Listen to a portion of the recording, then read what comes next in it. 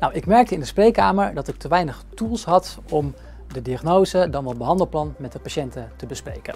Er zijn nu eigenlijk alleen maar ja, folders of je hebt wat schaalmodellen, maar ik zocht meer uh, afbeeldingen eigenlijk om met de patiënt te bespreken wat er nou speelt.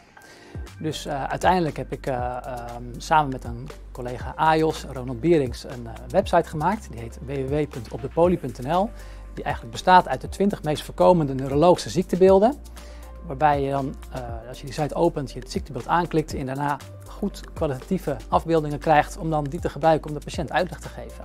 Omdat we in een grote stad zijn en heel veel mensen niet goed Nederlands spreken, hebben we er ook voor gekozen om de site helemaal te vertalen in het uh, Turks, Arabisch en het Engels, om zo iedereen goed van informatie te kunnen voorzien.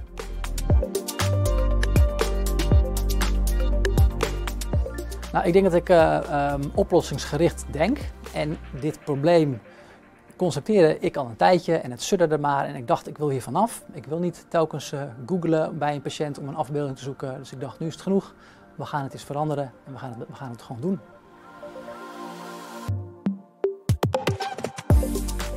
Nou, wat ik gaaf vind is dat dit idee in de spreekkamer van het Hagen ziekenhuis is ontstaan en dat nu blijkt dat heel Neurologie Nederland de website gebruikt.